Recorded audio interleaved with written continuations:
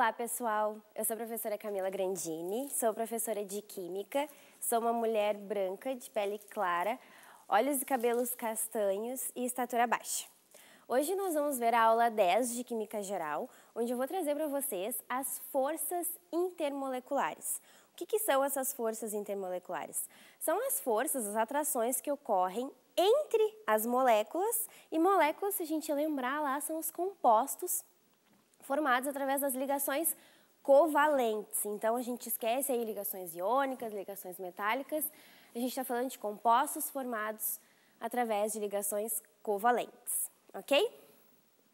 Então, para a gente entender como que ocorrem essas forças intermoleculares no nosso dia a dia, vamos trazer um pouquinho no, da nossa cozinha, tá?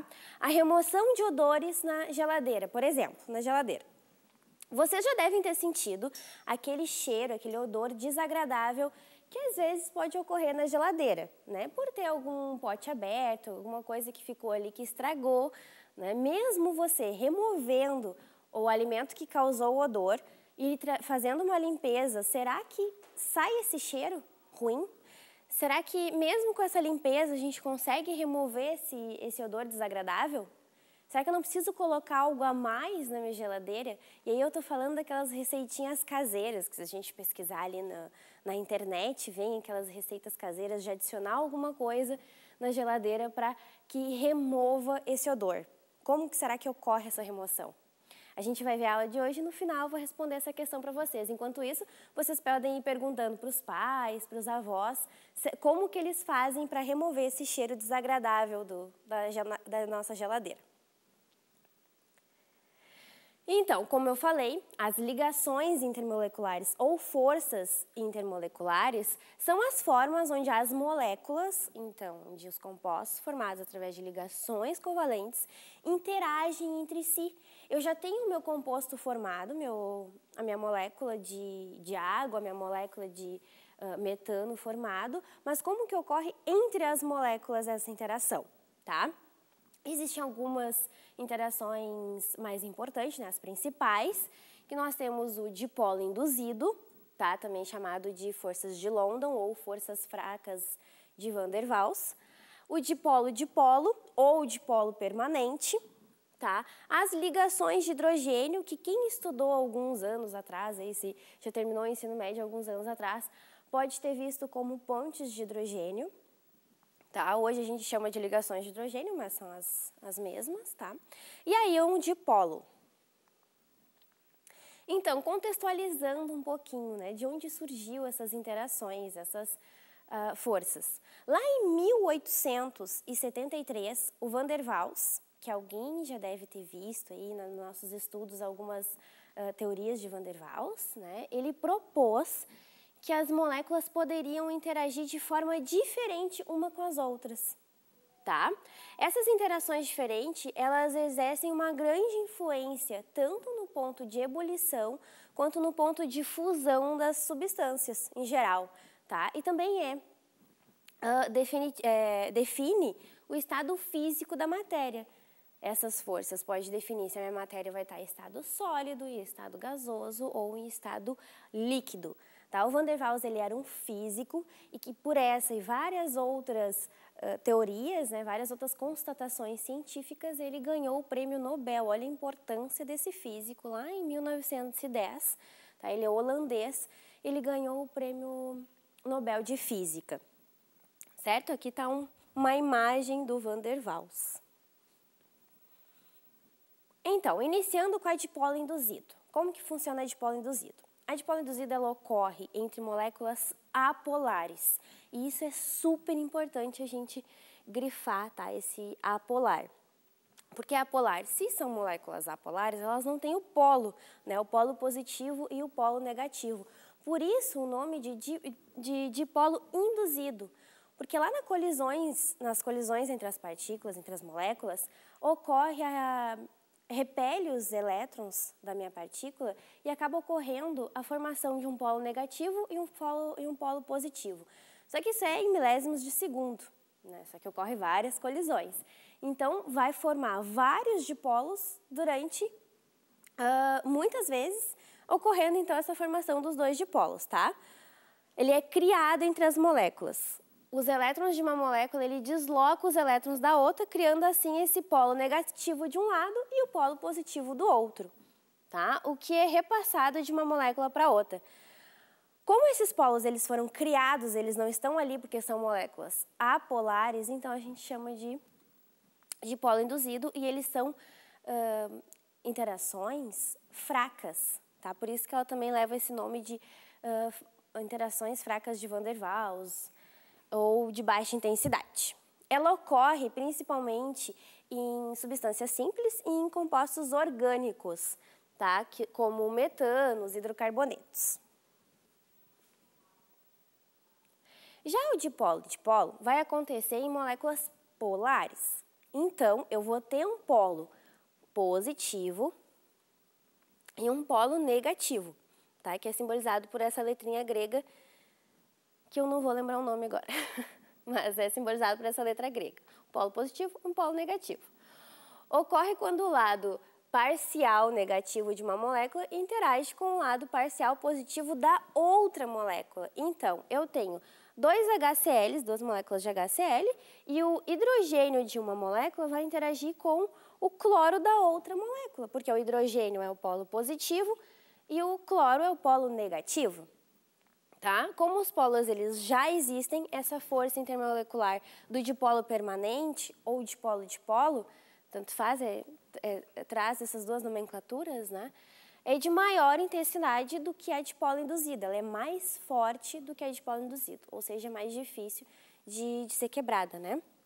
Aqui traz uma simbologia interessante, um jeito de, de demonstrar essa dipolo-dipolo, porque aqui é como se eu tivesse várias moléculas, tá? Cada um desses ovais aqui são uma molécula. Então, eu tenho o polo negativo de uma, o polo positivo de outra. O polo negativo de uma vai reagir com o polo positivo da outra, o polo positivo reage com o polo negativo, então é a interação entre várias moléculas do HCl, por exemplo, tá? Por isso, intermolecular. Já as pontes de hidrogênio ou ligações de hidrogênio é uma atração intermolecular, intermolecular na qual um átomo de hidrogênio ele vai interagir, vai ser atraído por um, um átomo muito eletronegativo, tá? Então, ela vai ocorrer também entre moléculas polares, né? Mas vai ser entre o flúor, o oxigênio e o nitrogênio com o hidrogênio, tá? Por quê? Porque esses três elementos, o flúor, simbolizado pela letra F, o oxigênio, que tem o símbolo uh, do elemento químico O, e o nitrogênio, que é o N de uh, símbolo, são os elementos com maior eletronegatividade na tabela periódica tá? Então, essa diferença de eletronegatividade entre o hidrogênio e eles é muito grande, o que torna essa interação mais difícil de ser rompida, ela se torna mais forte. Aí acontece com o HF, a, a água, a amônia, tá? essas moléculas que acabam tendo essas ligações de hidrogênio. Também não menos importante, mas o íon dipolo. O que, que seria essa interação íon dipolo?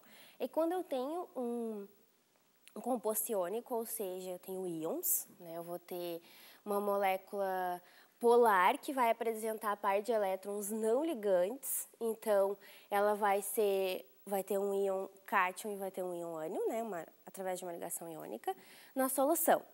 Ela é a mais forte de todas as interações, tá? De todas essas que eu fui falando, a mais fraca é o dipolo induzido e a mais forte é o íon dipolo, tá? Esse íon que está presente na solução, ele vai ser rodeado pelas moléculas da água. A molécula da água é o principal dipolo. Quando a gente fala de íon dipolo, uh, normalmente aparece a, a água como esse dipolo. Então, a carga parcial do oxigênio da minha água, que é o dipolo negativo, ele vai ser atraído né, pelo cátion, que vai ser o, como se fosse o polo positivo. E as cargas parciais positivas do hidrogênio são repelidas e aí vão ser atraídas pelo ânion. Então, acontece essas interações aí. Alguma parte da molécula, né, o cátion vai ser atraído pelos, pelo oxigênio e os ânions vão ser atraídos pelo hidrogênio. Tá? Aí aqui traz a simbologia ó, do do cátion, né, atraindo o, o negativo. Pode ver que está sempre ligado no rosinha, que é o negativo. E o ânion atraído pelo roxo, que é o positivo. Ok? Então, falamos das intermoleculares, mas como isso está relacionado com a remoção de odores da nossa geladeira. Remoção de odores de qualquer forma, tá? Não só da geladeira. Eu trouxe o exemplo da geladeira, porque além de ser desagradável, ela é comum de acontecer, né? É comum a gente chegar na casa de alguém e a geladeira tá com cheirinho, ou na nossa casa também.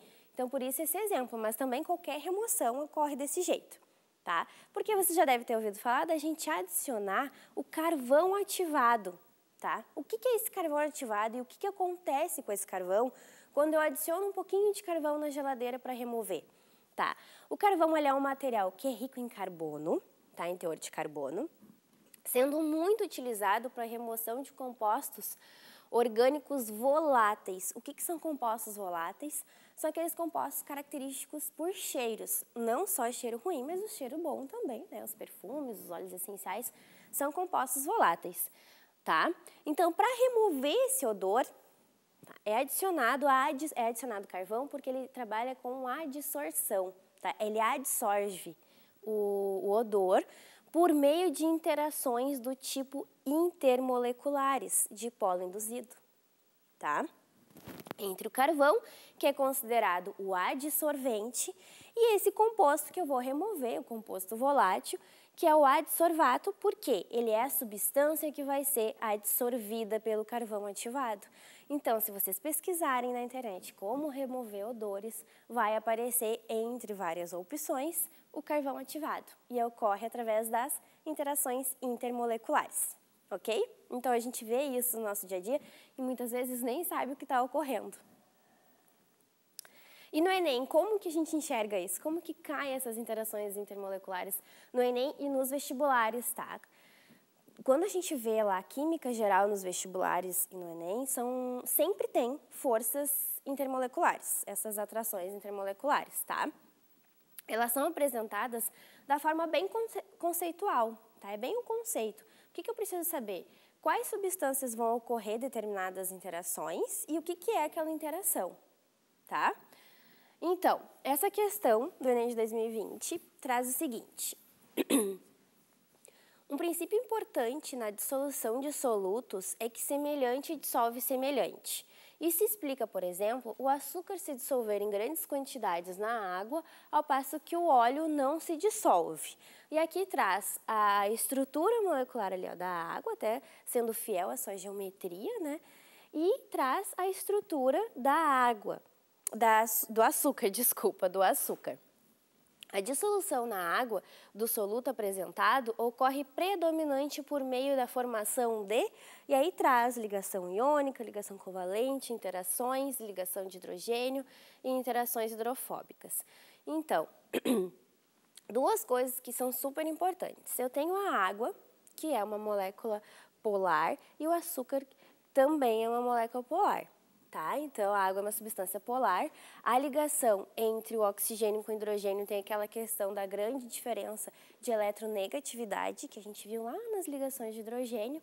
E outra uh, questão muito importante que a gente tem que saber é que quando eu apresento uma substância, aqui ó, tem a estrutura do açúcar, que tem vários grupos hidroxila, que é este OH, são as hidroxilas lá dos compostos orgânicos, eu estou falando de ligações de hidrogênio. Então, se eu tenho uma substância com hidroxila e eu tenho uma a água, que é uma substância muito polar, eu vou ter uma interação de ligações de hidrogênio, tá? Essas interações de grupos de moléculas diferentes interagindo com o, o hidrogênio da molécula da água e o oxigênio de outra molécula é uma interação é uma ligação de uh, hidrogênio, tá? Então, a opção mais interessante é a ligação de hidrogênio nessa questão, alternativa D. Já em outra questão, traz o seguinte. As partículas microscópicas existentes na atmosfera funcionam como núcleos de condensação de vapor de água que, sob condições adequadas de temperatura e pressão, propicia, propiciam desculpa, a formação das nuvens e, consequentemente, das chuvas. No ar atmosférico, tais partículas são formadas pela reação de ácidos, que é simbolizado aqui pelo HX, um ácido genérico, com a base amônia, né, o NH3, de forma natural ou antropogênica, dando origem a sais de amônio, então, que é simbolizado pelo NH4X, aí seria um, um sal genérico, de acordo com a equação genérica. Aí traz a equação química da reação ali entre os ácidos e a base, formando o sal. A fixação de moléculas de vapor de água pelos núcleos de condensação ocorre por ligações iônicas, interações de polo-dipolo, interações de polo induzido, interações íon-dipolo ou ligações covalentes. Então, aqui eu sei que está formando um sal. O que, que são os sais? Você lembra lá dos, das ligações químicas, é sempre, a química tem essa questão, né? a gente tem que estar sempre lembrando de outros outros conteúdos, né? Ligações químicas. Qual ligação forma um sal? O sal é um composto iônico, tá? ele forma através de uma ligação iônica, onde eu vou ter um cátion e um ânion, certo? Então, aqui eu já trouxe o, a simbologia deles, né? o meu cátion e o meu ânion. E o que, que ocorre dessa interação com as moléculas de vapor? Porque é a formação das nuvens, né? Então, esse sal, ele vai agregar a as moléculas de vapor, né? Aqui é o vapor de água, e vai formar a nuvem aí até precipitar e formar chuva, tá? Então, o que, que acontece com esse sal para juntar com as moléculas de água, de vapor? O polo negativo da água, que é o oxigênio, vai se ligar com o cátion do meu sal. Aqui está simbolizado pela, pelo vermelho, tá? Já o ânion, que é, é, genérico, que é um X, né, ele vai se vai, se vai interagir com o polo positivo, que são os hidrogênios. Então, vão ter moléculas que vai ser uh, atraída pelo hidrogênio e vão ter moléculas que vão ser atraídas pelo oxigênio. Essa interação de atrair uma pelo hidrogênio, atrair outra molécula pelo oxigênio, e sendo um íon que vai atrair uh, um dipolo, como é que é o nome dessa interação? Então, vamos por tentativa, né? São ligações de iônicas que, que acontece? Não, não, eu já tenho o meu sal. Não está falando em troca de elétrons, em compartilhamento de elétrons, não, né? Não há troca. Então, não são ligações iônicas. São ligações de polo de polo. Essas ligações, elas só acontecem com substâncias covalentes, né? Então, é uma substância iônica, então não é um dipolo de polo. São interações de polo induzido ocorrem entre moléculas apolares, o que também não é o caso, porque a água é uma molécula polar, né? Muito polar, então não é interação de polo e de polo induzido. São interações íons uh, de polo, sendo de polo a água? Sim, né, gente? É interação íon de polo. Por quê? Porque ela está interagindo com o dipolo da água, que eu tenho dipolo negativo, e o dipolo positivo certo? E ligações covalentes, só para descartar né, essa questão, ela não há compartilhamento de elétrons, não fala de troca de elétrons, né? fala de uh, interação íon-dipolo, né? da atração do, do sal, que é um composto iônico, com as moléculas do dipolo da água. Certo? Então, alternativa D. Continuando as questões, Essa questão, quando a gente vai pesquisar questões do Enem, que cai forças intermoleculares, ela é a mais famosa. Tá? E como ela é famosa, eu não podia deixar de passar ela, né? Ah, como que funciona? A pele humana, quando está bem hidratada, adquire boa elasticidade e aspecto macio e suave. Em contrapartida, quando está ressecada, perde sua elasticidade e se apresenta opaca e áspera. Para evitar o ressecamento da pele, é necessário sempre que possível utilizar hidratantes umectantes, feitos geralmente à base de glicerina e polietileno glicol. E aí traz as duas estruturas, né, da glicerina e do polietileno glicol. A retenção de água na superfície da pele promovida pelos hidratantes é consequência da interação dos grupos hidroxila dos agentes umectantes, Aí tem na glicerina, as hidroxilas, e no polietileno glicol também temos hidroxila nas extremidades, tá? Com a umidade contida no ambiente por meio de ligações iônicas, forças de London, que é o dipolo induzido, ligações covalentes, forças de polo de polo ou ligações de hidrogênio. A gente está dizendo nesse textinho aqui exatamente o que está ocorrendo. Se ler somente essa parte, não precisa nem analisar as estruturas, tá? Se eu não conseguir interpretar as estruturas, mas eu li, essa parte, eu consigo resolver. Porque está dizendo que está ocorrendo a interação. Se é uma interação, não são essas ligações, nem iônica nem covalente. É uma interação uh, do tipo grupo hidroxila com a umidade contida no ambiente. O que, que é a umidade contida no ambiente? É vapor d'água, né? É água. Então, hidroxila e água que é polar, qual é o tipo de ligação que faz? Uma substância com hidroxila e água faz ligações de hidrogênio. Então, bem fácil essa de responder, só tinha que entender o conceito, né, o contexto da ligação de hidrogênio. Então, para saber responder essas questões que a gente respondeu super rápido, tem que saber o conceito delas, né, das, das ligações, e quais moléculas que, que fazem essas, essas interações, né? São moléculas polares, são moléculas apolares, tá? Porque as forças intermoleculares, elas estão fortemente ligadas com a polaridade das moléculas, tá? Aí aqui eu trouxe um resumo, porque esse resumo vocês podem até na, tirar um print, aí tirar uma fotinho, porque é super importante, tá? Por quê? o tipo de interação e ocorre entre o íon dipolo, que é a mais intensa, mais forte, tá? Eu consigo consigo visualizar ali pela flecha, ó, ela é a mais intensa. Ela ocorre entre um íon, tá? Então eu tenho que ter um composto formado a partir de uma ligação iônica e um composto polar. Normalmente é a água, tá? Até porque o nosso solvente universal, ela acaba aparecendo em várias situações do cotidiano e aonde traz as questões de ligações intermoleculares são essas questões bem do cotidiano, a pele, né, questão de hidratação da pele, de remoção de odores, tá? Esse exemplo da remoção de odores, ele foi também uma questão de ENEM há alguns anos atrás, um ENEM mais antigo? As ligações de hidrogênio, também conhecidas como ponte de hidrogênio, acontece entre o hidrogênio e elementos fortemente eletronegativos, que é o flúor, o oxigênio e o nitrogênio, tá? Em função dessa grande uh, diferença de eletronegatividade entre eles, ela também é uma interação bem forte, tá? Só não tão forte quanto o íon dipolo, mas é bem forte.